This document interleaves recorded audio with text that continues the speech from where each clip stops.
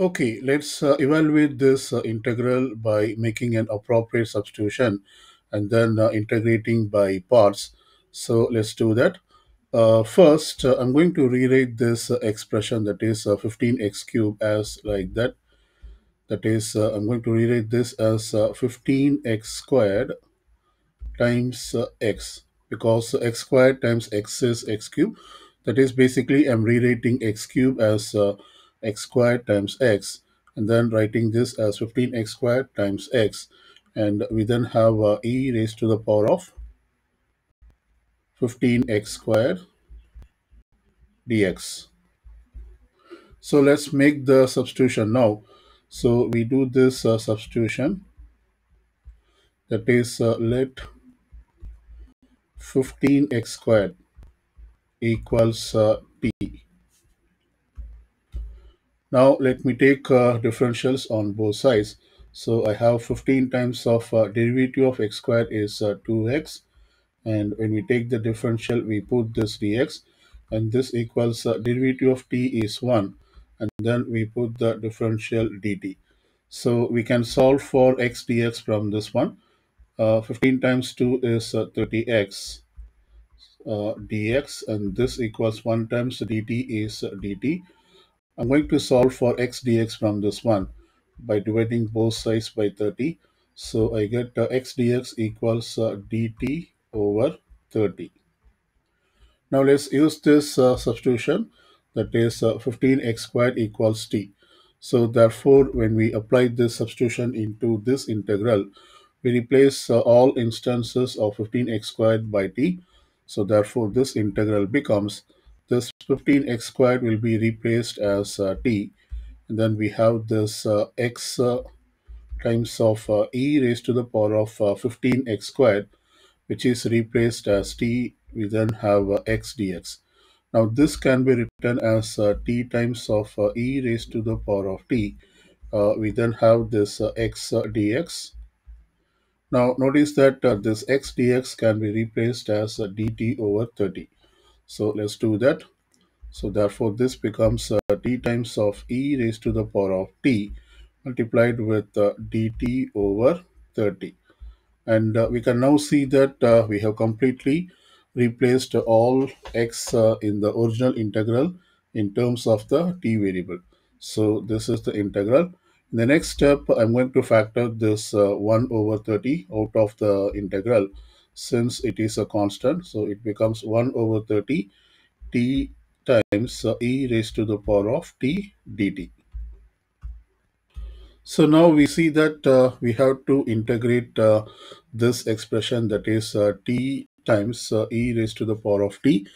Uh, so this looks like a product of two different functions. That is t is algebraic and e raised to the power of t. This is exponential function. So when we have a product of two different types of function, we use the integration by parts method integration by parts. And uh, in this method, uh, we have a formula that is uh, integral of u dv and this equals uv minus integral of v du. So basically we have to determine the u as well as the dv from this integral. And there is a rule to choose u. Rule to choose u which is uh, called as uh, ILATE rule, that is I-L-A-T-E, and each letter in this uh, acronym stands for uh, type of function. I replace uh, represents uh, inverse function, L represents logarithmic function, E represents algebraic function, T represents trigonometry function, and E represents exponential function. And we should uh, uh, look this rule in this uh, order that is from left to right. And when you see this rule from left to right uh, inverse function comes first. So uh, we have to look for any inverse function in this integral. Do we have any inverse function? Uh, if then we have to choose that as u since we don't have any inverse function basically we have only two types of function that is uh, algebraic and exponential. So we just ignore this, then move on to the next letter, that is L. And then we have to look for any logarithmic function in this uh, integral. We don't have logarithmic function. So we then move on to the next letter as like this. So the next letter is uh, A, which stands for algebraic. Clearly, we have this uh, t as the algebraic function, and this means uh, we have to choose that as uh, u. So therefore, as following this rule, we have determined that u equals t, and once we have determined the u, uh, rest of the terms uh, inside the integral, we can choose them as uh, dv. So this is t is u, and e raised to the power of t dt is dv. I'm going to write this here. So I write uh, dv equals uh, e raised to the power of t dt. So now we have uh, identified the u as well as uh, dv. We should uh, find uh, v as well as du. So this side we find the differentiation. That is, we basically find the de- derivatives. So we get du equals dt, and on this side we integrate. So integration of uh, dv is v, and integration of e raised to the power of t is uh, e raised to the power of t. We will not have to put the integration constant at this time. We can put this later on. So I'm now going to write this uh, integral in terms of the formula. That is, uh, this is the uh, integral 1 by 30 integral of uh, t times uh, e raised to the power of t dt. We have already identified that uh, this is our u and e raised to the power of uh, dt is uh, dv and this means uh, we can apply the formula that is uh, the integration by parts formula is uh, u dv equals uv minus integral v du. So when we apply this formula here, we should put u first, that is t, and then multiply with v. We have identified v as e raised to the power of t, so I put uh, e raised to the power of t, and then we should put this minus. So I put this uh, minus integral of v du. So I put v as uh, e raised to the power of uh, t.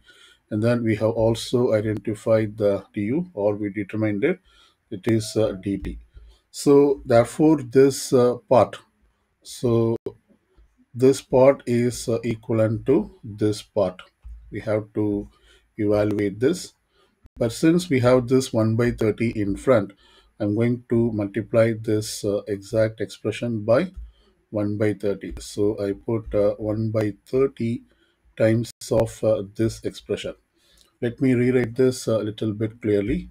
So basically this uh, integral equals 1 over 30 times of uh, t times of uh, e raised to the power of t minus uh, integral of e raised to the power of t dt.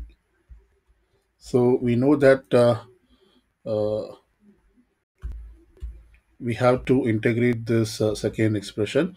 So in the next step, uh, I'm going to write this as uh, 1 over 30 and this is t times of e raised to the power of t and then integral of e raised to the power of t when we use the integration formula it is uh, e raised to the power of t and uh, we can now put this integration constant c so we have utilized the integration by parts formula and uh, integrated the expression in terms of t but uh, our actual uh, integral is in terms of x. Notice that we have used the substitution for t, which is 15x squared. So we have to give this answer in terms of x variable. So replace uh, t by 15x squared. Let me do that. So therefore this equals uh, 1 over 30 times of uh, 15x squared e raised to the power of uh, replace t by 15x squared. So it becomes uh, e raised to the power of 15x squared minus uh, e raised to the power of uh, t, which is uh, 15x squared plus the integration constant c. Notice that we can factor this term e raised to the power of uh, 15x squared since we have this in the both the terms.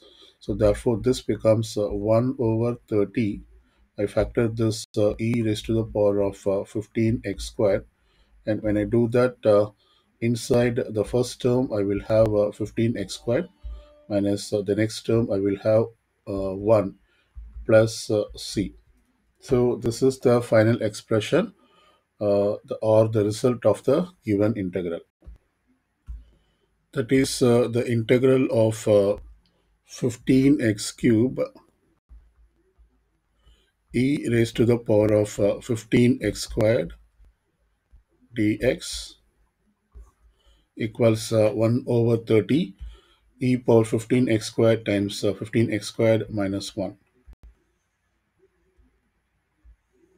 plus the integration constant c.